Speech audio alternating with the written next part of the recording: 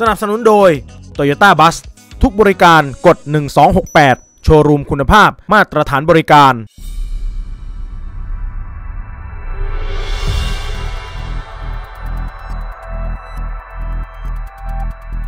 ทนายความชื่อดังนายบุญถาวรปัญญาสิทธิ์โพสต์ข้อความผ่านทาง Facebook ระบุว่าคลิปเสียงรายงานการประชุมผู้ถือหุ้นไอทีวีที่นำมาเปิดไม่ได้ส่งผลดีกับคดีของหัวหน้าพักเก้าไกล กลับเป็นหลักฐานที่สำคัญสำหรับการตอกฝาโลงในคดีถือหุ้นสื่อของนายพิธาไอทีวีเป็นสื่อมวลชนหรือไม่ ข้อสังเกตบริษัทจดทะเบียนจัดตั้งมีวัตถุประสงค์ในการดำเนินกิจการสื่อแต่แรก เริ่มจดทะเบียนและปัจจุบันวัตถุประสงค์ในการทำสื่อมวลชน ก็ยังระบุว่าไม่มีการเปลี่ยนแปลง ย่อมถือว่าบริษัทยังคงสถานะเป็นนิติบุคคลตามกฎหมาย มีการยื่นงบการเงิน และประชุมผู้ถือหุ้นประจำปี ย่อมบ่งบอกว่าบริษัทยังมีสถานะเป็นนิติบุคคลตามกฎหมาย ถือว่ายังคงเปิดกิจการไม่ได้ปิดกิจการ การประชุมผู้ถือหุ้นย่อมทำให้เห็นชัดเจน ว่าขณะที่คุณพิธา หัวหน้าพักการเมืองก้าวไกล สามารถรับสมัครเลือกตั้งสมาชิก สภาผู้แทนราษฎรในคราวปี 2562 และคราวล่าสุดปี 2566 เป็นเจ้าของหรือผู้ถือหุ้นในกิจการหนังสือพิมพ์หรือสื่อมวลชนใดๆ โดยไม่ว่าถือในนามส่วนตัวหรือถือแทนทายาทในฐานะผู้จัดการมรดกก็ตาม ตามหลักประมวลกฎหมายแพ่งและพาณิชย์ วางหลักไว้ว่าผู้มีชื่อในทะเบียนให้สันนิษฐานไว้ก่อน ว่าเป็นเจ้าของแม้ว่าต่อมาจะโอนหุ้นไอทีวีให้แก่ทายาทคนอื่น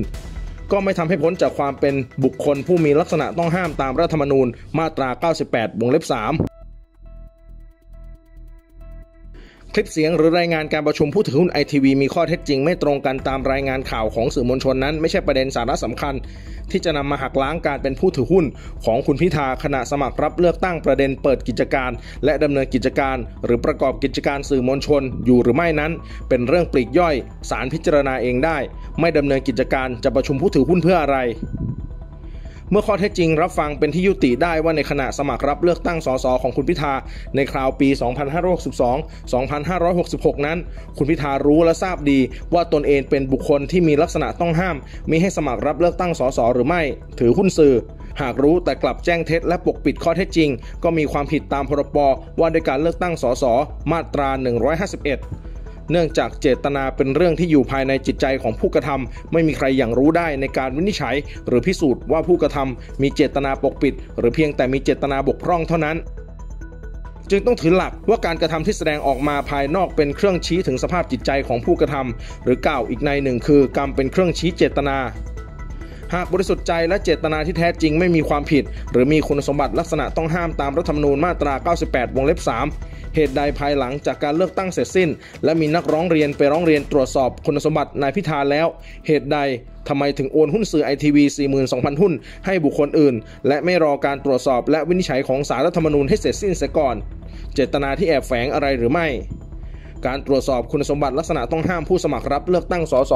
และบุคคลที่จะได้รับการรับรองและแต่งตั้ง เป็นสมาชิกสภาผู้แทนราษฎร และนายกรัฐมนตรีเป็นหน้าที่ตามกฎหมายของคณะกรรมการการเลือกตั้งหรือกกต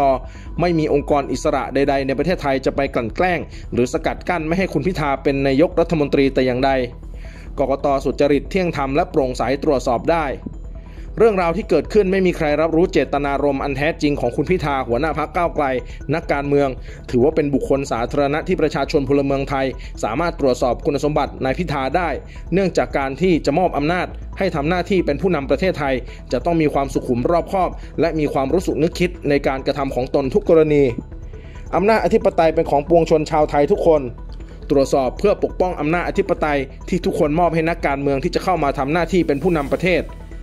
ผมเขียนตามองค์ความรู้ไม่ได้มีเจตนาไปใส่ร้ายป้ายสีคุณพิธา หรือบุคคลเป็นกรณีศึกษาแก่นักเรียนนักศึกษากฎหมายและนักกฎหมาย ทนายความและประชาชน เพื่อเกิดการถกเถียง และเสวนาปัญหากฎหมาย อันทำให้เกิดประโยชน์สาธารณะนะครับ